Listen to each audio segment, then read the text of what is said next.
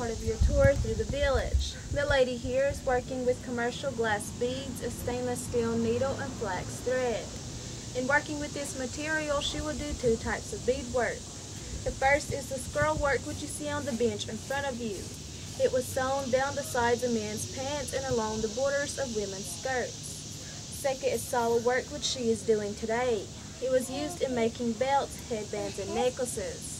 As you will see, she will only pick up one bead at a time and sew on to the next. This allows the thread to pass through each bead twice.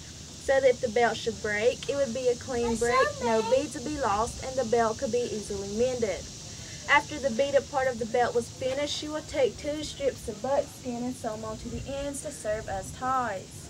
Before the introduction of this material, they would use the teeth, bones, and claws of wild animals, the gray Indian corn bead, also known as Job's tears, and the seashells were trade items from the coastal tribes. The needle was carved from the straight bone of a deer's leg located just above the hoof, and the thread was made from the dried inner fibers of the Indian hemp plant.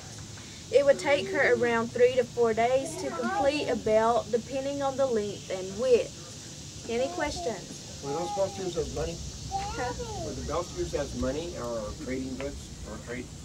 No, they were just usually used Oh, okay. decorations of the clothing. Your next stop is up the path at the pottery section. All right, let's go see some pottery. Y'all like this bead? They were used.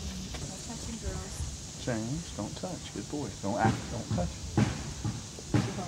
This is our pottery section. The lady here is working with native clay found along the riverbanks of this area. In working with this clay, she will do one type of method. It is called a ball method, which is shaped into a ball.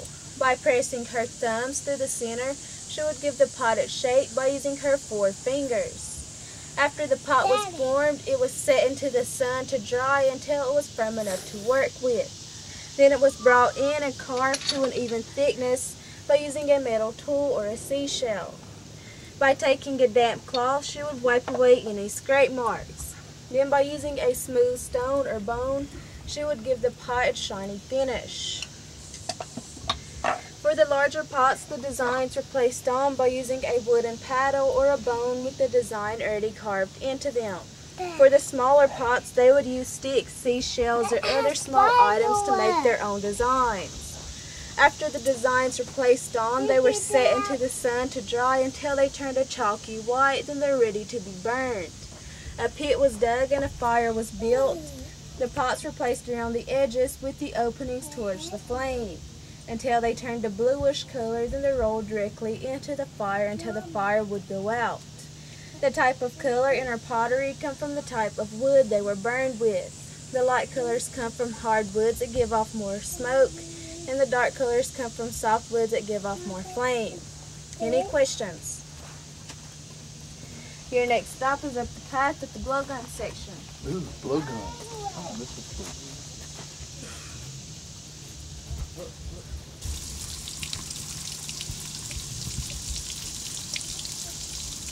This is our blowgun section. Our blowguns are made from river cane that is gathered and stored to dry in the manner you see here. After it was dried, become crooked and need to be straightened. They would straighten the cane by first holding it over an open fire, then bending it back and forth over their knee. After the cane was straightened, it was cut into the blowgun needed. Then by taking a metal tool like the ones we have here, they would knock out the joints inside the cane. To smooth out the cane, they would use a piece of metal with a piece of rough metal attached to the end. Before the introduction of this material, they would use a long wooden shaft with a piece of flint attached to the end. Here is the dart for the blowgun. The shaft is made from yellow locust and the tail is made from the Scottish thistle, gathered to dry in the manner you see here. After it was dried, they would place a shaft between their thumb and forefinger and use a piece of string and roll it down onto the end of the shaft. Our blowguns were never used in warfare but for hunting small game such as rabbits and squirrels. The distance the blowgun would shoot would depend upon the length of the blowgun and the person's lung power. Any questions? Roughly how far? 50 feet? 40 to 60 feet. Your next stop is down the path at the basket section.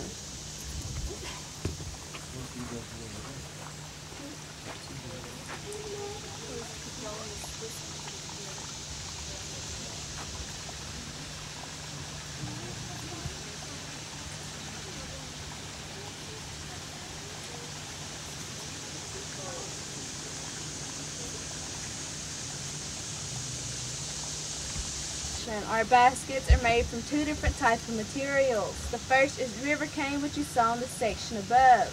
It is gathered and cut into sections and is only scraped on one side because the other side has a smooth and natural finish. Second is white oak, which is gathered and cut into sections. By going along the grains, they will be cut into splints, which will be scraped on both sides until they are smooth and flexible enough to work with. The type of color in our baskets come from different type of roots and barks which they are boiled with.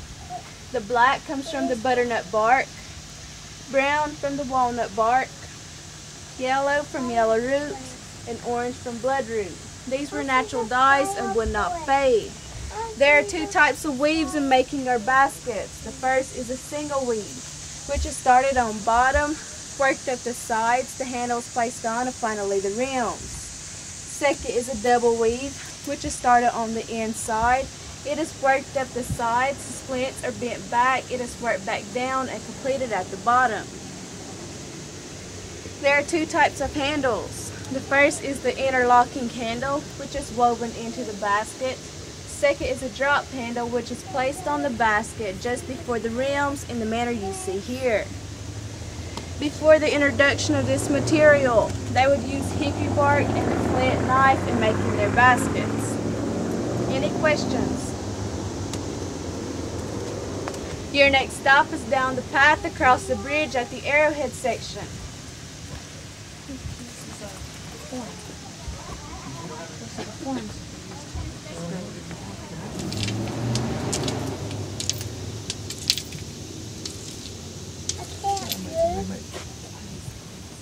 This is our arrowhead section. Our arrowheads are made from flint found in parts of Kentucky and Tennessee that once was the Cherokee Territory.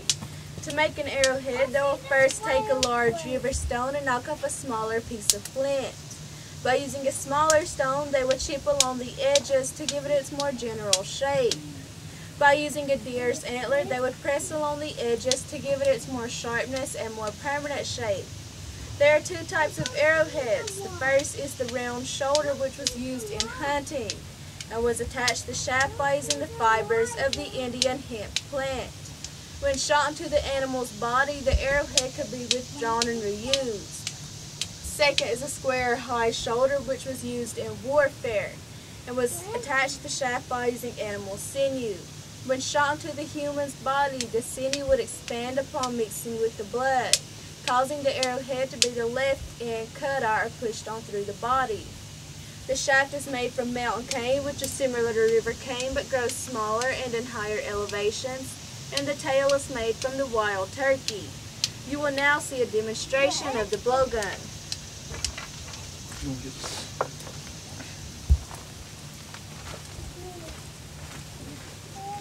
Watch this girl. see see him shoot this arrow it's a blow dart. Blow dart. Watch this. See the target? Look at the target. Watch this. That's it.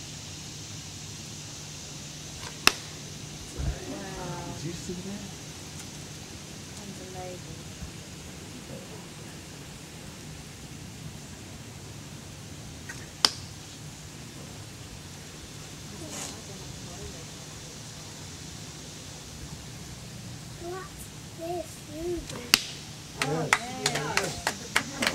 our trap section. The first trap you see here is the deadfall or bear trap.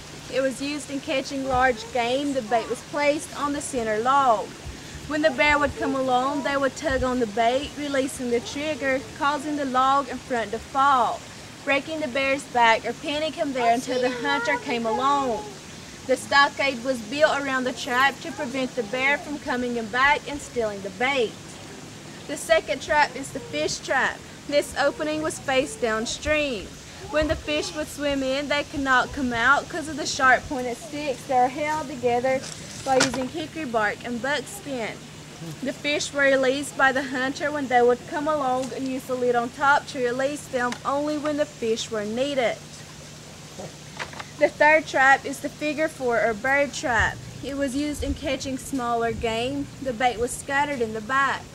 When the animal would come along, they would brush against the sticks in front, causing them to break and causing the animal to be trapped inside.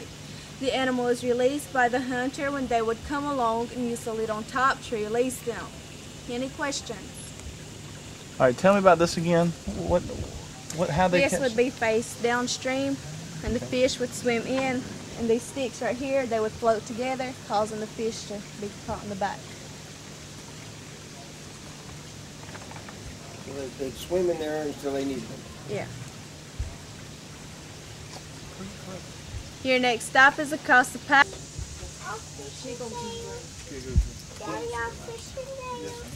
This is our corn pounding section. This is the method that our people would use in pounding their corn into cornmeal. They would first boil the corn in hickory ashes, which would act as a lye to remove the outer husk.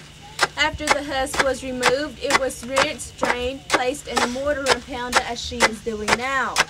After she was through pounding the corn, she would place it in a loosely woven basket like the one I have here to be sifted. What would come through the bottom would be used for cornmeal, and what was left inside would be used for hominy grits. It would take her around 30 minutes to pound enough cornmeal for the average size family of five or six, and this is for every meal. Any questions? Your next stop is up the path at the first cabin.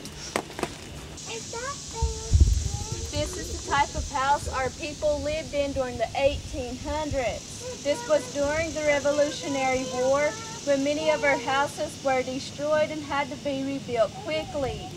Notice the logs are not hewn on all sides and the clay was mixed in by using animal fur and straw to prevent it from flaking after drying. Inside there's a loft that extends halfway across the room which was used for storage a drying rack which was used for preserving fruits and vegetables, and you will also notice iron pots and pans and a woolen blanket that represent trade items from the first settlers. You may take a look inside. Please do not go all the way in, and your next stop is down the path at the next cabin.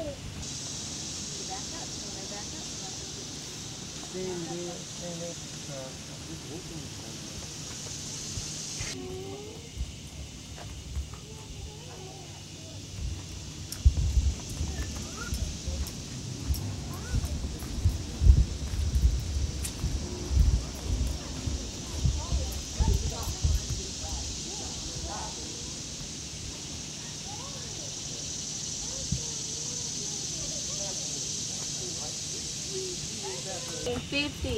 This was before the war when they had plenty of time to build their homes. Notice the logs are hewn on all sides and a porch has been added on. Inside there's a loft that extends all the way across the room which is used for storage and sleeping quarters for the larger families. The only means our people had for light was the fireplace in the doorway. You will see a smaller scale model of the original Cherokee home later on in your tour. Across the path, you will see a sweat house. Every family owned one, and it was used for storage and sleeping quarters during severe winters. The largest sweat house was found in the center of the village and was owned by the medicine man and was used for a hospital. When a person was sick, he or she was taken into the sweat house and made of one of the benches. Large beaver stones were heated outside and rolled back into the create a vapor, causing the person to sweat out his or her sickness. Our people had a cure for every sickness and disease until the introduction of smallpox which wiped out half of our population. You may take a look inside both of these and your next stop is across the path at the finger weaving section. Stop.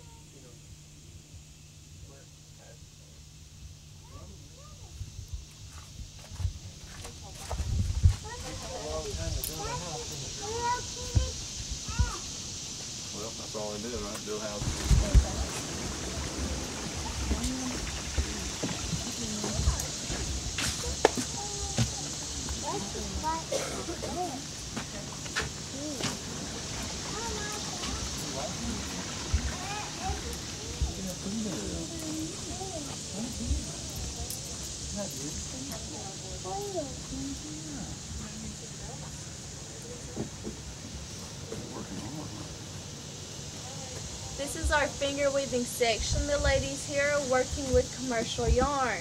In working with this yarn, they will do two types of weaves. The first is a single weave, which is an over and under method and will give you plaid and check designs.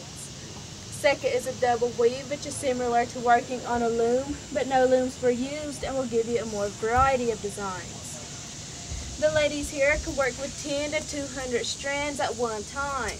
When one was complete, they were made to be belts or sashes or was sewn together to make blankets or shawls. Before the introduction of this material, they would use the inner fibers of the Indian hemp plant or the fibers of the mulberry root bark, which is also dyed in the same dyes you saw in the basket section.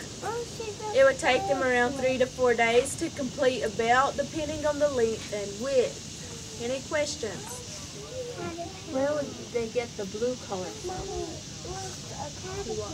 Well, all the, so many colors here in blues. Back in the old days. Yeah.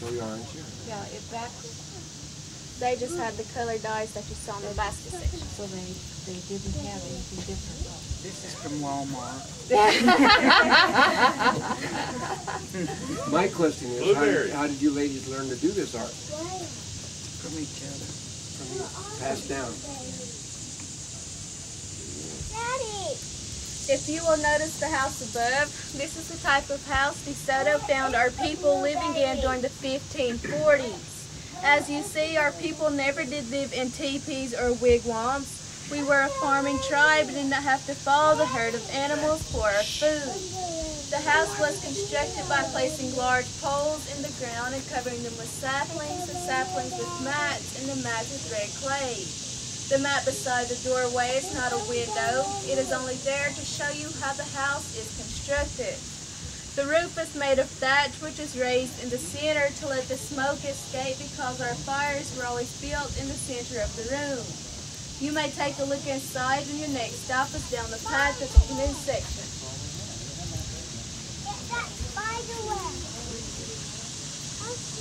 Feels good in there though. That was in the fifteen hundreds? Yeah, this She said they never lived. They did. See, these, these people are mainly farmers. They oh, raise their crops. They didn't. Well, they didn't have it. They're having inside?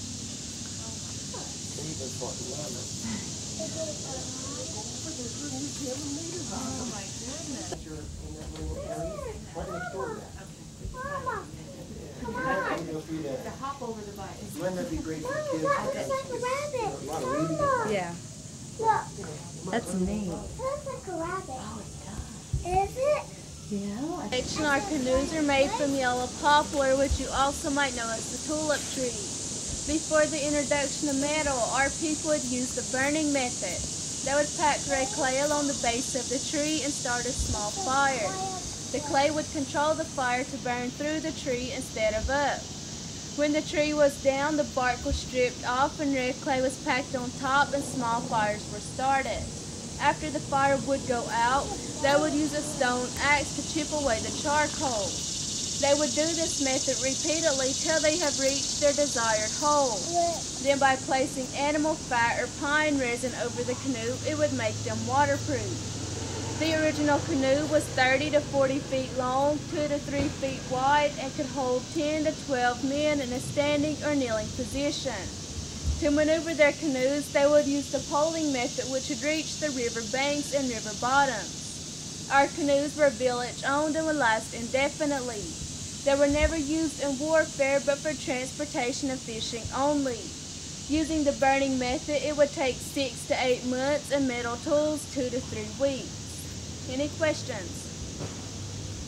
How long did it take them to build one of these? Using the burning method, six to eight months, and metal tools, two to three weeks. All right, now you said they don't use these during warfare, and then you said that the blow darts weren't used during warfare. What did they use during warfare? Just the arrows. Just the arrows. No hatchets. They, they use hatchets and arrows.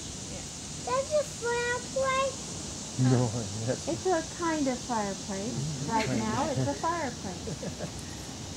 Your next stop is up the path at the wood carving section.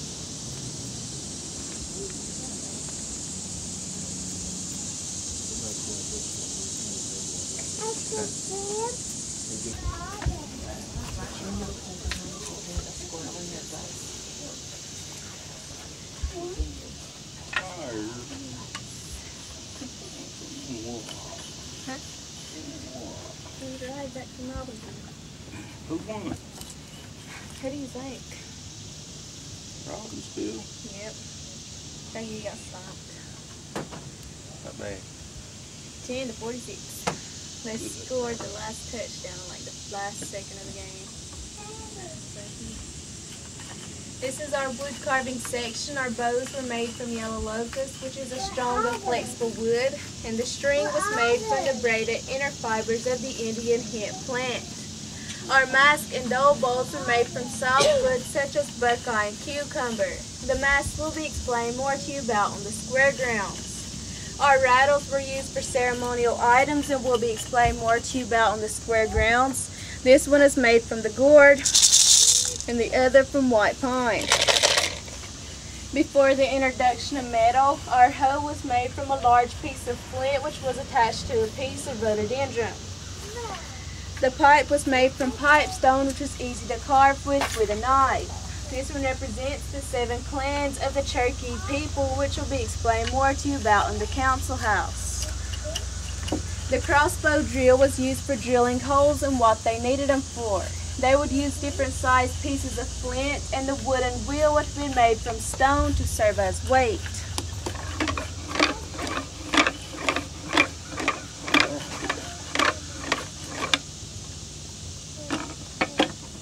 That was an ingenious invention, wasn't it? The seashells were trade items from the coastal tribes. The sharper edges were knocked off and used for the decoration of men and women's clothing. What was left was burned, crushed, and ground into a powder which was later used for whitewash for ceremonial items. Any questions? Your next stop is up the path at the storage house.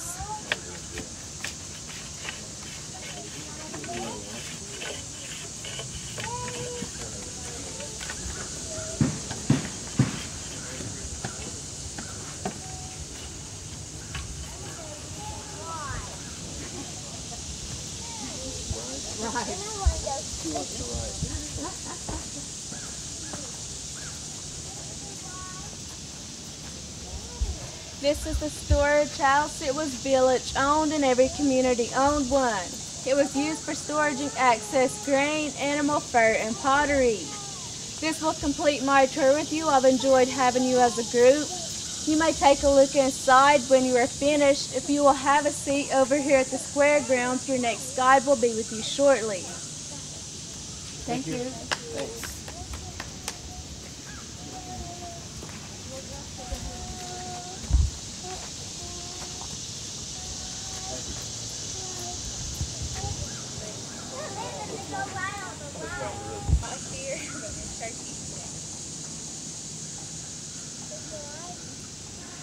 So we need to go down that way? afternoon, ladies and gentlemen, I'd like to welcome you here to our village, and I hope that you have enjoyed your tour so far. On this part of the tour, I will be your guide. My name is Bucket Squirrel. The area which you are now seated, this was called the square grounds or the ceremonial grounds. This is where all the ceremonial dances would have taken place. Inside the square mountain of sand you see built up around it. Every village had a square ground, and it was located as close to the center of the village as possible. Now, the reason that we use this sand because our villages were never built on a hillside in a wooded area like you are in today. They would have been built down in the valleys next to the rivers. The reason for that is because that the Cherokee people were farmers, and this sand would have been readily available. The size of this square depended upon the size of the village. Now, the smaller Cherokee villages they had anywhere from 10 up to 15 families. Some of their square grounds could have been built a little bit larger than the one you see here today. Now the larger villages, they had anywhere from 300 up to 500 families. Some of their square grounds, they could have covered up an area about the size of a football field. Hmm. Now on this mound, the four corners will point to the four corners of the earth. The pole that you see in the center that has the pine branches fastened to it, the original one would have not been built no larger than the one you see here today, and it was used only to shade the drummers. All the dances that were held here, they were all held on the inside of this mound. They were never held on the outside. The outside was considered to have been common ground, and the inside was considered to have been sacred ground. Anyone was welcome to take part, women and children. If you wanted to take part in these dances, you had to be on the inside of the mound before the dances would have started. The dances were called prayer dances. That's because Cherokees, they didn't worship any gods, any idols, or anything of nature. We've always believed in one supreme being, and that being the Creator. Now, where you're sitting at today, this is where you would have sat when you weren't taking part. Notice that it's sectioned off into seven different sections. That represents the seven clans of the Cherokee. Now, a little bit later, right down here in the council house, you're going to learn more about the Cherokee clan system. Each clan had their own section to set in. No other clan set inside another clan's area. Let's say the dances would have already started. You may have came to the ceremonies late or you were setting where you're setting at right now, but you decided, well, I'm going to take part. So you went ahead and you stepped inside this mound. Now, if you got caught stepping inside, some of the men, they would have came and taken you to a post that was put at each corner. They tied you to the post and you were left there until the remainder of the dances. Some of the dances lasted a day. Some of them lasted up to seven days. And during this time, you were tied to the post. Also, you were not given any food nor water. Cherokees were very strict people, and they believed in hard discipline. And when our people done these dances, they didn't do them for entertainment or pleasure. They were done for ceremonial reasons only. And you never seen any type of fast dancing or fancy dancing like you'd see at a powwow. All of our dances were done at a slow pace in a circular motion. They did take breaks in the dances. You could step out during the break and you were allowed to come back. If you stepped out before the break, you were not allowed back inside this mound. They used different types of instruments to bring rhythm to the dances. We have a few here today. We're going to show to you, explain to you how they were made and used.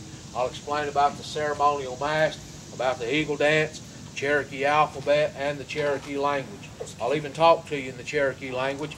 That'll give you folks an idea of what our language sounds like when it is spoken, and I'll tell you about how most of our people worship today. Now, the first two that I have here, they're called ceremonial hand rattles. This one right here is called the gourd rattle. Now, these gourds, they raised them in the gardens. They weren't good for eating, but they did use them to make bird houses, water dippers, and like the rattle you see here. To make this rattle, you take the seeds out of the gourd and dry it out and replace them by using small kernels of corn or small stones and place a stick through the center. This one right here, that's called a turtle rattle. That's made by using a woodland terrapin shell. That's commonly known as a box turtle. To make this rattle, you cut the turtle out of the shell, then you dry it out, and you replace it by using the small kernels of corn or small stones and place a stick through the shell. Now, when our people use these types of hand rattles, this may have been a type of sound they would have gotten.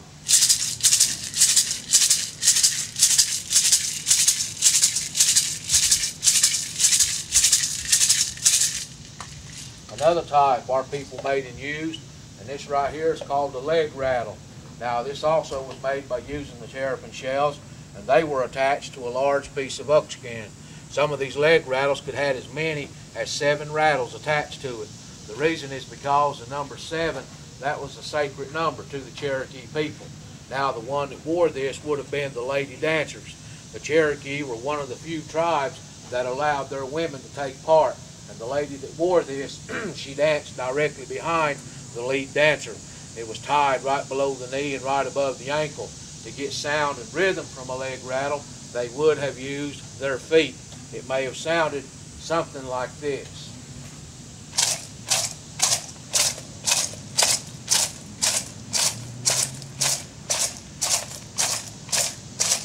Now before the introduction of metal tools and knives, when our people made their drums, they made them out of clay, like you seen up in the pottery section. They would have attached some type of animal skin across the top. After the introduction of metal tools and knives, our people began making drums like the one you see right here. This right here is called a water drum. It's carved out by using buckeye wood. It's hollowed out down to about one or two inches from the bottom. The skin stretched across the top would have came from a groundhog. The reason they used the groundhog is because it was one of the toughest skins that was found in this area. Now the skin was held on by using a removable hickory band. The different tones that you got from this drum, that depended upon the amount of water that you placed on the inside. Another type our people made and used, this right here is called a single tone. That's commonly known as a tom-tom. This drum also is carved out by using buckeye wood. But this drum's hollowed out all the way through. The skin also would have came from groundhog. Now some earlier drums that were made and used, some of them, they could have been as twice as large as the one you see right here. But when they use this type of drum, this may have been a type of sound they would have got.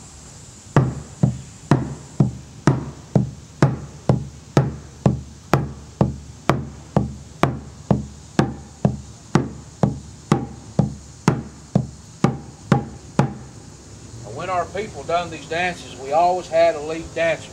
Most of the time, that lead dancer was a man. Sometimes it may have been a woman. Now this woman, she had to be an elder in the village. And when they led the dances, the lead dancer would wear some type of mask to show what type of dance was being done. Before the introduction of metal tools and knives, the masks were made out of tree bark. They carved them out by using a flint knife. To show what type of dance was being done, they would have attached some type of animal hair or by using whitewash that was gotten from crushed seashells. After the introduction of metal tools and knives, our people began making masks like the one you see right here. Now if the lead dancer wore a mask like this one, they could have been doing what they called a hunt dance or the bear dance. The night before that the men planned to go on a hunting trip, they'd all gather here at the square grounds and they'd have a prayer dance to ask the Supreme One for a safe and successful trip. Now upon the return, everything went well. They all gathered back here to give thanks for a safe and successful trip. Now, some of you folks, you may have already went downtown or passed through town. You may have seen some gentlemen standing out here in front of these craft shops wearing all these brightly colored feathers. Now, these gentlemen, they are Cherokee, but the regalia they wear, that's not of the Cherokee people. Cherokees did not wear a lot of feathers. That's more of your Western or your Plains Indians. Our chief, he did wear feathers, but he wore the feathers only for ceremonies. There was a dance our people did that feathers were used. The dance was called the Eagle Dance. And this dance was done in three parts, for victory, for peace, and to give thanks to the eagle for the use of its feathers. Now these wands, the handles, were carved out by using sour wood. Sour wood was a sacred wood to the Cherokees because it blooms seven times in one season. The feathers came from a golden eagle. The golden eagle is a sacred bird to the Cherokee people, not only to the Cherokees, but other Indian tribes as well. Only the men were allowed to take part in this dance. When they done the dance, they held the wands out at arm's length to show representation of the eagle in flight. Cherokees were very superstitious. They believed that if any part of these wands touched the ground or touched this mound in any way, they believed that the man carrying these wands or someone in his family would soon die. Now, I want to tell you about the Cherokee alphabet. The Cherokee alphabet was written and invented by a man by the name of George Gist. His Cherokee name was Sequoyah. Now, he was born over near a place called Fort Loudoun, Tennessee. Spent most of his earlier life in northern Alabama. When he was trying to create this alphabet, there were two major failures before he was successful. The first one, he tried to create a character and a symbol with every word, but there were far too many words. On the second one, he tried to create a character with every sentence. He found too many ways of creating a sentence. Now, upon his third and final, he'd sit and he'd listen to our people speak the language. Then by hearing the sounds of the language, he was able to complete the alphabet using 85 different symbols. It took him 12 years to complete it. During this time, Sequoyah could not read, write, nor speak any other language but Cherokee. Today, a lot of these historians, they claim Sequoyah to have been an illiterate genius. Thanks to Sequoyah and other men, we had our own newspaper. The paper was called the Cherokee Phoenix, printed down in a place called New Echota, Georgia. New Echota, that's the last known capital of the Cherokee Nation. The paper was printed once a month, printed in Cherokee and in English. Now, the reason they printed it in English was so the settlers could also read the paper. At one time, they thought that the Cherokee language was dying out. This was due to intermarriages or just a lack of interest upon our part. It mainly had to do with a lot of lack of pride. A long time ago, they came and took the young Cherokee children and they put them in boarding schools. Now, in these boarding schools, they were not allowed to speak the Cherokee language. They forced them to learn how to speak English. If they were ever caught speaking the Cherokee language, they were severely punished. That's why when a lot of these people grew up and had children, a lot of them wouldn't teach their kids to speak Cherokee. They were afraid to because what happened to them, they thought might also happen to their children for speaking their own native tongue. Today, here on the reservation, in the school systems, starting in daycare, we teach the little children how to speak Cherokee. In elementary, grades K through 6, it's taught as an introductory course. In high school, it's taught as any other foreign language taught inside a public school. It's taught along with Cherokee history. These are two mandatory classes. You must take them and you must pass before they allow you to graduate from high school. Shio Yaldaza. Uh, Ayang Galagin Shaloli. Hello, how are you? I'm Buck Squirrel. All Austin Shonole Yaldaza. Ausikwaza. Ina. Kage Yui eh? Kawiha Waduli Ha Hilistan. Good morning, how are you? I'm doing fine. I love you, I want coffee and hurry up. Ama, agua dooley, huh? Ama is water. Agua dooley, huh? I want, I want water. Ski, thank you. Wadum, you're welcome. Kaji used, who are you? Ilista, Kana, hurry up, come over here. Shagwa, Kali, Joy, Nunk, Hishkin. That's counting to five. A few animals, bear is Yona, cat, Weshun, dog, Li, groundhog, Algun, rabbit, G-stew, horse, Shagwali. Well, that's an example of what the language sounds like when it's spoken. the dances, they are still used today by some people on the reservation. The reason why a lot of our people don't use them anymore is because we were introduced to Christianity, and this was through the white missionaries. Now, back then, a lot of our people were easily converted into Christians, began attending churches, and began using this verbal form of prayer, so we no longer needed to use the prayer dances. Today, here on the reservation in some churches, you can find songbooks that are printed in Cherokee and in English. The largest known translation today is the entire New Testament of the Bible, translated from the good old King James Version by a Cherokee preacher by the name of David Brown in 1832. Thanks to Sequoyah and his writings, the teachings in the schools, the language will never die out. There's two things that cannot be done in the Cherokee language. One, cannot curse at anyone because there's no curse words in our language. Two, you can't tell anyone goodbye. There's no words for goodbye. Our people have always believed we'd see one another again, if not the next day, later on. A data dog wouldn't huh, shonole. A data dog wouldn't huh, until we meet again, shonole, meaning in the morning or tomorrow. Now, ladies and gentlemen, this will complete my part of your tour. Is there anyone, anyone here that's already been to the council house yet? Have you been to the council house? Okay. Uh, the council house is going to be your next stop. now, I'll tell you, uh, after you finish the council house, that will complete your whole tour through the village. But you are more than welcome to walk back through, take more pictures, talk to the workers. There's also the Indian Gardens. The entrance is located right beside the ticket office. That's about a 15 minute walk. That's something that you do on your own, no additional cost. now, to get to the council house, you can take these steps or the pathway down the hill to the building down here on the left. Just go inside, find a seat. Next guide, she will be with you in just a couple minutes. I do want to thank you folks for your attention. I hope you all have a wonderful afternoon. I hope you have a safe one. God bless you. Thank you very much. Every Cherokee Village had a council house which was located on the west side of the square ground. It was built as close to the center of the village as possible. The door faced to the east and was constructed as a winding corridor so that the inside was never seen from the outside. The size of the council house depended upon the size of the village. Villages ranged in size from small villages of a dozen homes up to towns with two to five hundred homes.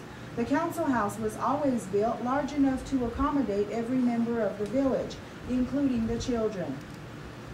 As you'll notice, the council house has seven sides, and on the inside there are seven sections of seats.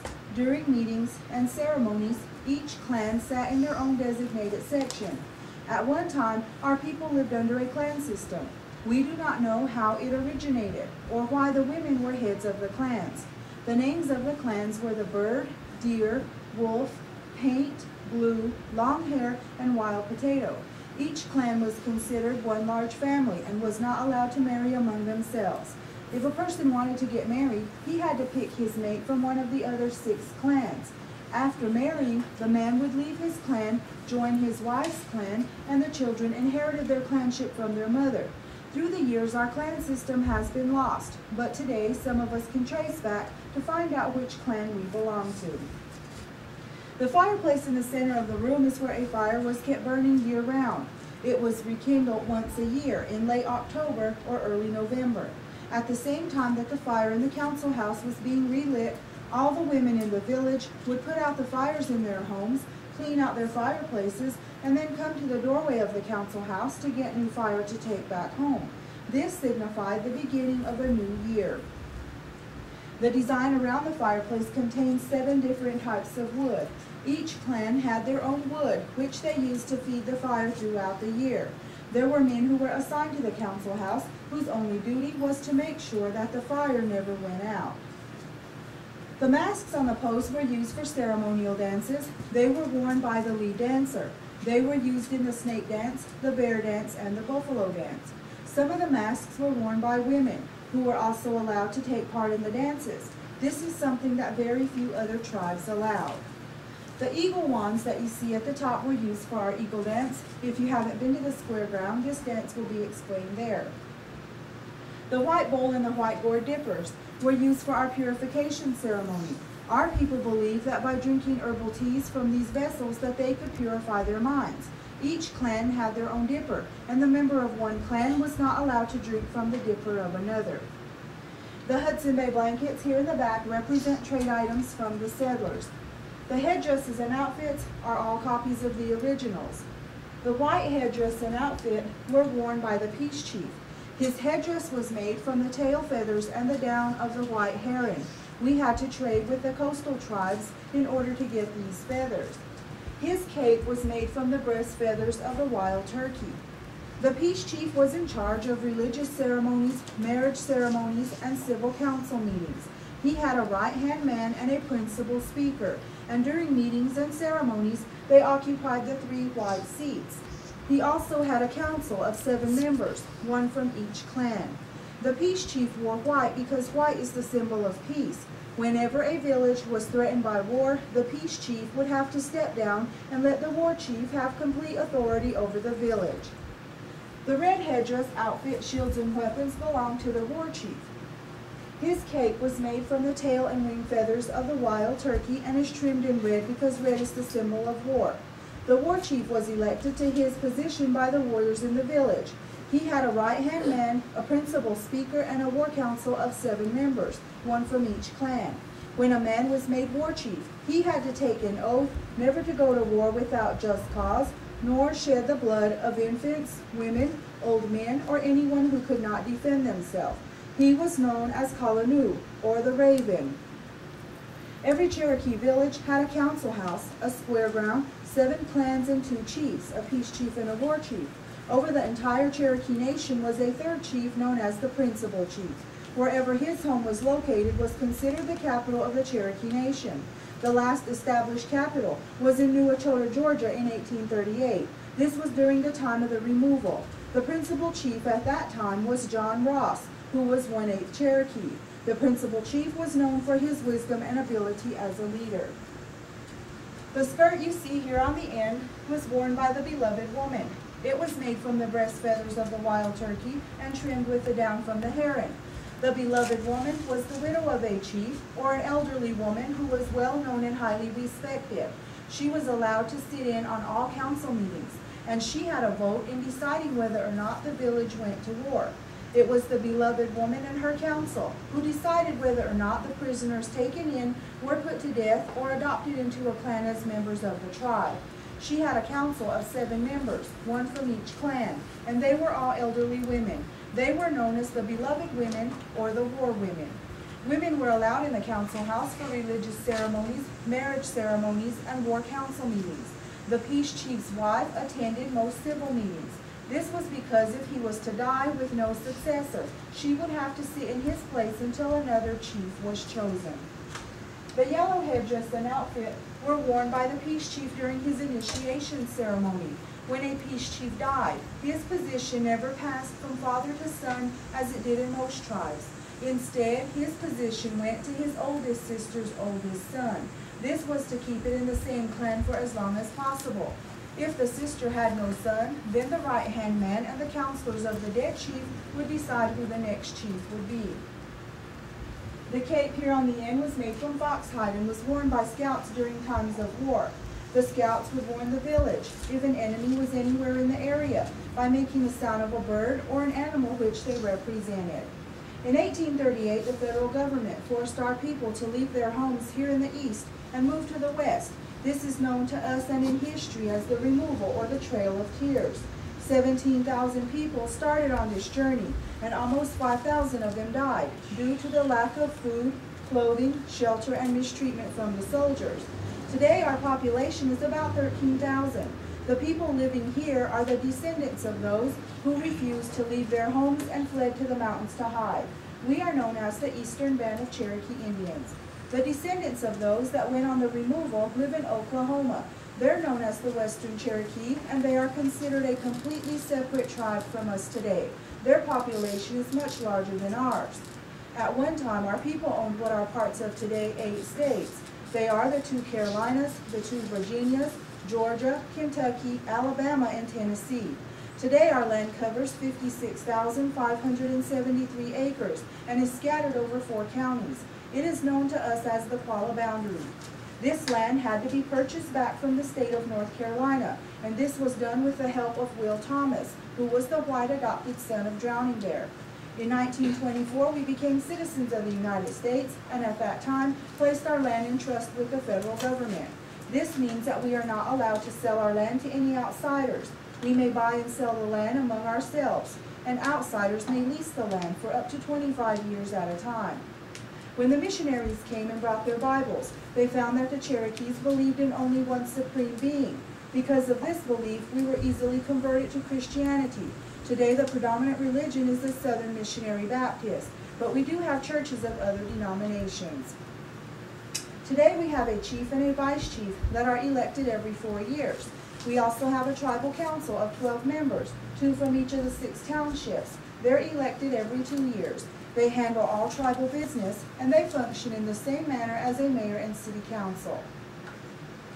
Today, we do pay federal income taxes, but we don't pay state or property taxes because our land is held in trust with the federal government. As you came through our village today, we tried to show you how our people lived, worked, and dressed over 200 years ago.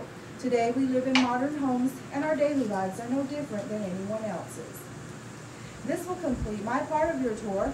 If you haven't been to the square ground, this will be your next stop. Just follow this path right here and have a seat under one of the shelters. Your next guide will be with you in a few minutes. If you've already been to the square ground, this will complete your tour through our village, but you're welcome to stay as long as you like. If you're leaving, just follow the exit signs and it'll lead you out to the parking lot. Thanks for your attention and have a nice day. Thank you.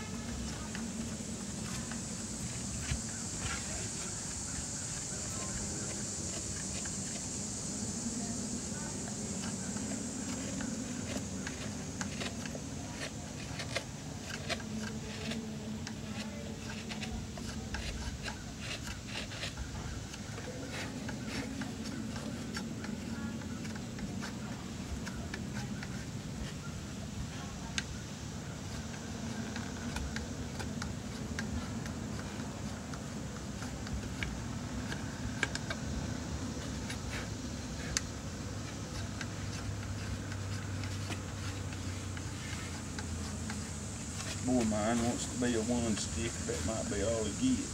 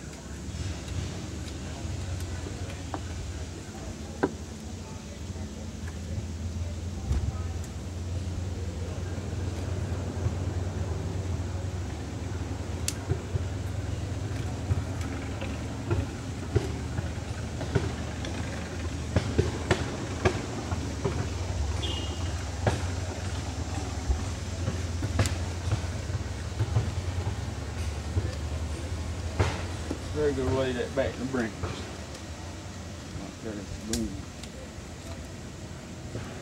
Wrong time of year.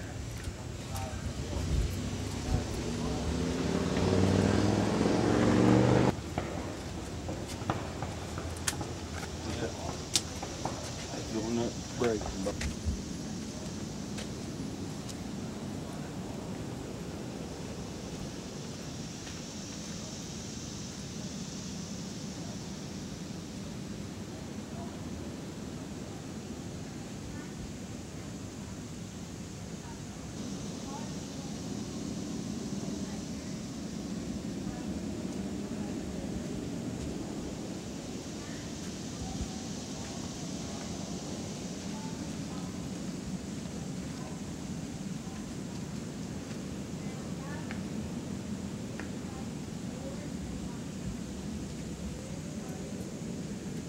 Canoes that the Cherokees made them always came from yellow poplar.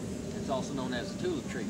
The Cherokees never made any birch by packing the red clay mud about three or four feet off the ground around the base of a tree to start fires around it. The red clay's natural dampness will control the fire, keep it from burning.